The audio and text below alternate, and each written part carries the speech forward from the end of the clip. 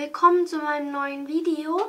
Ähm, es geht heute um Lippenstifte, weil ich hatte ähm, bisher schon vieles ausprobiert. Also die letzten, die ich hatte, sind alle vom P2.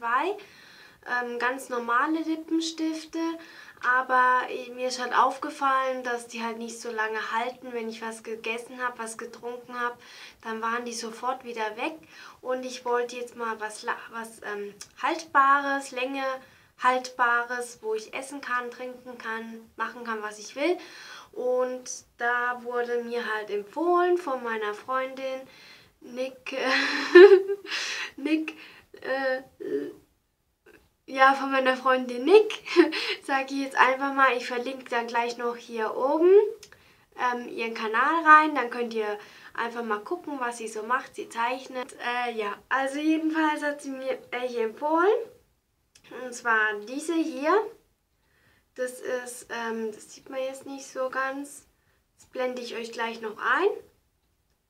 Ähm, der ist von Manhattan. Lips to Last heißt der. Das ist ähm, hier, hier ist die Farbe drin, hier. Und dann gibt es hier noch so ein Gloss. Zur Versiegelung würde ich jetzt einfach mal sagen, ähm, die Farben sind total schön. Also ich habe einmal hier so einen etwas dunkleren Ton und dann ein bisschen was helleres. So ein bisschen rosaner. Ähm, ja, also man geht einfach hin, macht es halt einmal hier so drauf, ganz dünne Schicht. Dann lässt man es eine Minute lang trocknen. Dann, wenn man ein bisschen dran geht, merkt man auch, dass es ein bisschen klebrig ist.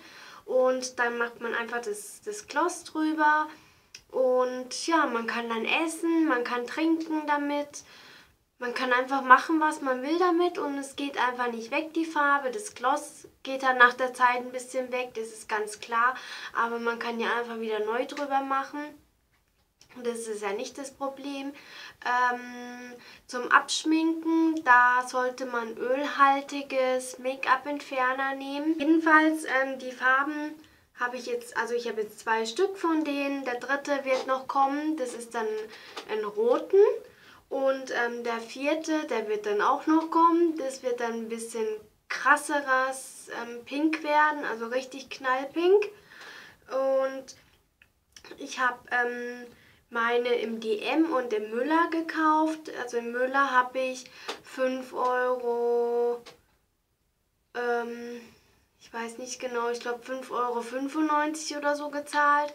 Und im DM habe ich den gesehen. Also im DM gibt es irgendwie unterschiedliche Preise, ich weiß es nicht.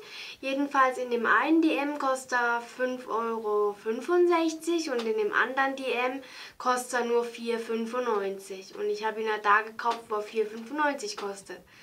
Tja, ich weiß auch nicht, warum die da unterschiedliche Preise haben, aber es ist halt einfach so.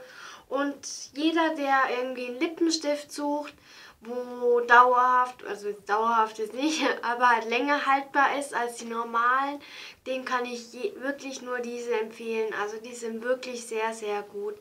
Ich schreibe dann noch in die ähm, Infobox rein, wie die heißen und welche Nummern, weil die haben hier Nummern. Und das ist dann halt die Farbnummer. Und ja, wenn jemand die nachkaufen will, einfach in die Infobox schauen und da steht es dann alles drin. Ich hoffe jetzt halt, dass es euch gefallen hat und dass ihr Spaß hattet und ich freue mich über ein Abonnement oder einen Daumen hoch oder ein Kommentar oder einfach alles zusammen. Da freue ich mich wirklich sehr, sehr und ähm, bis zum nächsten Mal sage ich dann Tschüss.